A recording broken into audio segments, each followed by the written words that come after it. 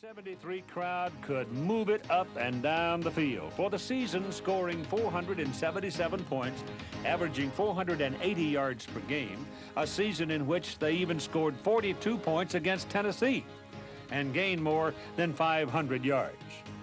With number one in their possession from the UPI coaches poll, Bama headed for the Sugar Bowl to meet Notre Dame.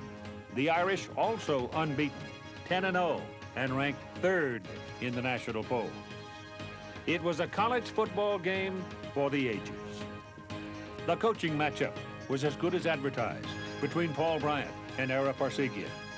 So was the quality of the team, which came before the bowl games. The number of national championships hanging at the capstone now numbered nine. 1977 had a double edge for Alabama. New Year's Day, they demolished Ohio State in the Sugar Bowl 35 to 6. But Notre Dame beat top-ranked Texas in the Cotton Bowl and jumped all the way from fifth to first. And by now, the Alabama football faithful were getting weary of being plundered by Notre Dame. But that's the way it was in the game of opinion. The Tide played a killer schedule in 78, opening with wins over Nebraska and Missouri. Then Southern California came to Legion Field with Charles White flying all over the place and lefty Paul McDonald throwing darts plus Alabama's six turnovers. Not a pleasant evening for the home team. 24-14, the Trojans won. And the old balloon looked kind of limp. But a win over Washington in Seattle, close as it was, 20 to 17, helped get some air back in it, and then good things started happening. November 11, LSU, a ranked tough team, came to Legion Field, and a hard game was cracked open in the fourth quarter. The final was 31 to 10. And news came that Nebraska had knocked off top-ranked Oklahoma. Next, Auburn did Alabama a huge favor, if you can believe it. The Tigers played heavily favored Georgia to a 22-22 tie. And suddenly, the Crimson Tide had control of its own destiny beat Auburn and play for another national championship. And they did just that. Again, a matchup of Hall of Fame coaches, Paul Bryant and Joe Paterno. Penn State ranked number one, Alabama number two. It was a matchup of the highest quality, a game that actually transcended the hype. Alabama got the lead after a quarter and a half of sparring when Tony Nathan broke loose for 55 yards. Jeff Rutledge then hit Bruce Bolton from 30 yards out. Point good, Bama, 7-0. After the first half, it certainly looked as if defense would dictate the outcome. Lions quarterback Chuck Fusina finally found a crack in the third quarter, throwing 17 yards to Scott Fitzkee, and the game was tied at seven. Then Lou Ikner fielded a state punt and hauled it back to the Nittany Lions 10-yard line. Out of the wishbone, Rutledge pitched to Major Ogilvie, who banged into the end zone, and the Tide had the lead 14 to 7. But the drama was actually just beginning. In the final period, Penn State recovers an Alabama fumble at the 19-yard line. Move the ball to a first and goal at the Bama 8-yard line. One of the biggest plays of the game may well have been this one where Don McNeal stopped Scott Fitzkee just one yard from the goal line. Then came the two tries by the big backs.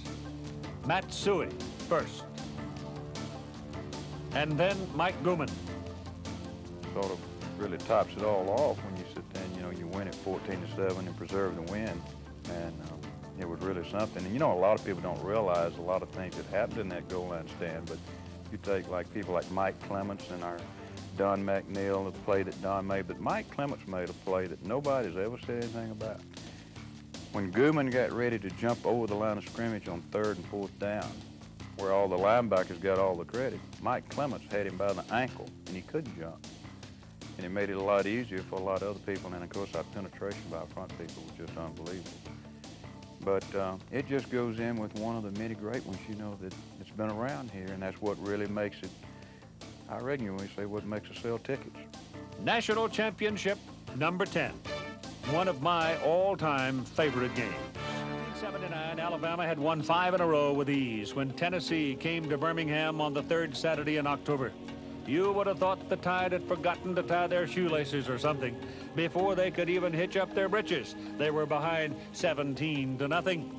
Quarterback Jimmy Streater was driving the big orange train that year, and he was having a hoot at Legion Field.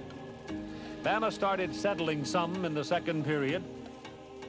Steadman Shealy had a 33-yard scoring strike, but at the half, Tennessee led 17 to 7. And you have to know that kind of performance would rouse some memorable oratory from Paul William Bryant. Don Jacobs stepped in at quarterback in the second half, led the comeback, capped a 14-play drive that covered 80 yards, running the last 13 himself for the big touchdown. The defense shut down Jimmy Streater in the second half, and the Tide won the ball game 27 to 17. There was another spot of quicksand in the 1979 schedule for Alabama down in Louisiana's version of Death Valley. Coach Charlie McClendon loved to have company come under the lights in the city of the Red Stick. We tried hard to get Charlie Mack to change the game from night to day so it could be televised, but he would have none of it. He wanted to be one of the boys to beat the Bear, and he almost did, losing only three to nothing. A downpour turned Tiger Stadium into a massive mud hole. It was fortunate nobody drowned, and Alabama was very, very fortunate to get out of Baton Rouge with a win. After whipping Miami 30 to nothing at Tuscaloosa, and that was the Miami team with Jim Kelly at quarterback, it was back down the road to Legion Field and that old minefield called Iron Bowl. The Auburn Tigers were a ranked team, 8 and 2, and on Iron Bowl day, spoiling for a fight. The Tide jumped to an early lead. Quarterback Steadman Shealy slicked them into the halftime leading 14 to 3, but there was trouble coming. The score rose to 17 to 6, and then Alabama started dropping the ball. Four fumbles dramatically added to the excitement factor. And Doug Barfield's Tigers were cashing the Alabama mistakes to the point where Auburn led 18 to 17 with 11 and a half minutes to play. After another drop covered by Major Ogilvie, Steadman Shealy got the white shirts moving in the right direction. There was a terrific run by fullback Steve Whitman and then the winning touchdown called by John Forney on the Alabama Radio Network. Wide side of the field is left. Looking out that way is Steadman Shealy. Shealy rides it in, keeps himself, goes to the left, keeps the five, two, touchdown for Steadman Shealy, and Alabama regains the lead. But as the Crimson Tide headed back to the Sugar Bowl to play a very good Arkansas team, Ohio State was number one in the polls and Alabama number three. Lou Holtz, then coach of the Razorbacks, thought by many to be one of the best big game coaches around, watched the Alabama defense blunt every Arkansas try when it counted. And then under Steadman Shealy's leadership, the Alabama offense started to roll right along. Mal Moore, Bama offensive coordinator, details the shift in the offensive scheme which caused the Razorbacks so much grief. We felt that, uh, you know, that Arkansas played a very good scheme against the wishbone. They'd played against Texas, you know, year after year. And so we came with a double wing with the backs to the tight end side in the wing position the back of the split inside also in a wing position. But we ran the same offense, but we did it with a little bit of movement. But by going to that alignment, it, it put Arkansas in a, a, little different scheme defensively. They had now, because uh, we had four quick receivers on the line of scrimmage. And, and, and I think it may have caught them off guard a little bit, so they went, normally would check back to a base type scheme of defense that put them in a different support uh, pattern. And uh, we, were had, we had the advantage.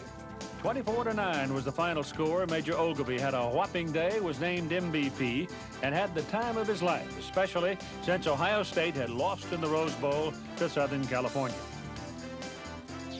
And so the 70s and the remarkable record of Alabama football teams during that decade ended on that New Year's Day at the Superdome. The next day, Alabama had the votes in the polls, finishing ahead of Southern California.